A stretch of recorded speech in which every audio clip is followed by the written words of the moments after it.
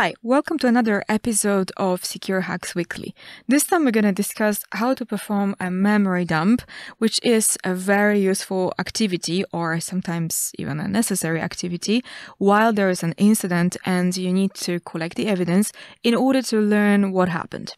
Memory dump in general is useful in order to investigate what's running because whatever runs is in memory. So for example, if there is any kind of a malicious code that is running in the memory of the legit process, then you would be able to extract that information, that piece of code, if you do have a memory dump. Of course, we all know that memory dump or memory itself, it's uh, volatile. Therefore, uh, in order to do the memory dump, uh, you need to uh, make sure that everything works smoothly. You need to have already good tools prepared and you need to know all the conditions that are necessary uh, to be successful because sometimes you can actually experience uh, a blue screen. While we are doing, of course, a memory dump, there's a bunch of good techniques that you can apply. For example, uh, it's um, absolutely um, interesting that not all of the memory acquisition tools uh, Uh, can actually uh, complete the memory uh, dump uh, while there is a VSM enabled. So while you've got a virtual secure mode enabled. Uh, but of course, whenever we are thinking about some successful dumping dumping tools. Here we tested the Belkasoft RAM capture and also Dumpit.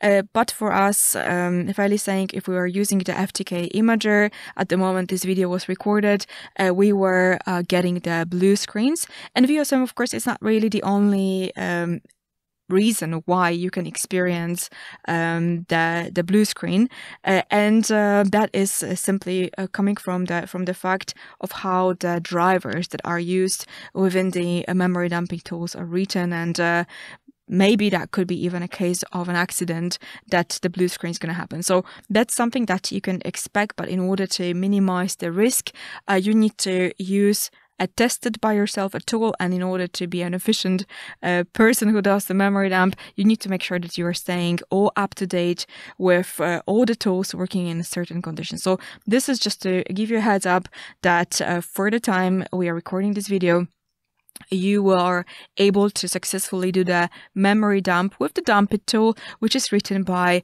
uh, Matthew Suiche. So uh, let me, of course, start a demonstration. Let's dig in. So what you see on the screen right now, it's just simply a console running with an administrator, with administrator's privileges. And we're going to launch Dumpit, which is an amazing tool that is uh, very respected and used by us by years, written by Matthew Suiche. And within this tool, we are performing the memory dump on the external and to the external drive. So we run Dumpit from the external uh, disk and we are dumping, of course, um, the output to the external disk. That takes a while, uh, but here we just run the command dumpit slash o and then we specify the name of a file. Of course, that name of a file here on the video, it's a Windows 10 evidence, but it's a good practice to use not only the Windows version, but also date and time uh, during which you are performing the memory dump. Because when you're going to have multiple file dumps to analyze, it would be great not only to differentiate by time, but also to differentiate by version so that you can use appropriate volatility module uh, to analyze that memory dump to be just simply more efficient and faster uh, in terms of uh, extracting information from the dump itself. And um, well, yes, you need to always uh, wait a second.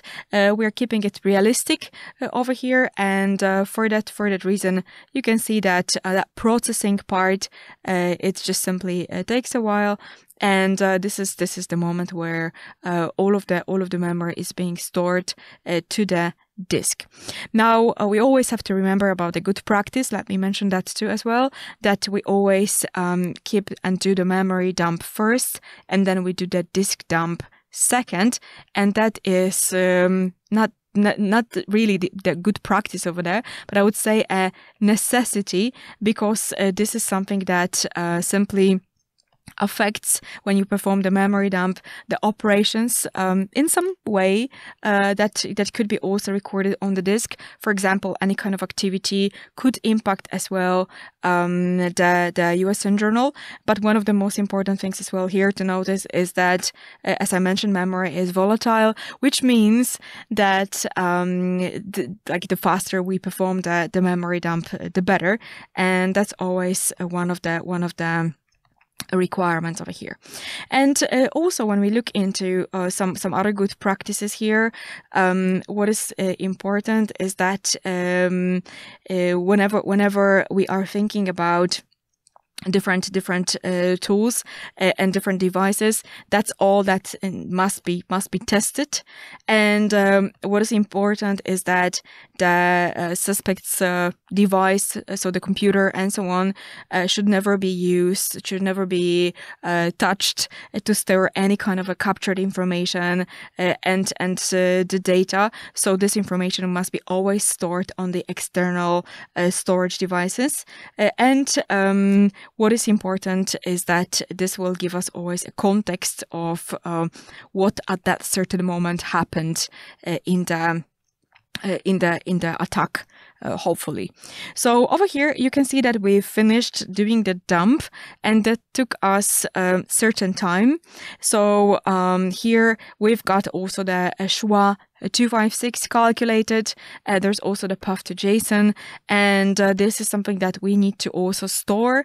Uh, so regarding regarding this, uh, when we're going to be analyzing that particular dump, we need to make sure that this hasn't been touched, and also it's super important to do the copy of it. So let's just um, demonstrate it. We are doing the copy of the dump.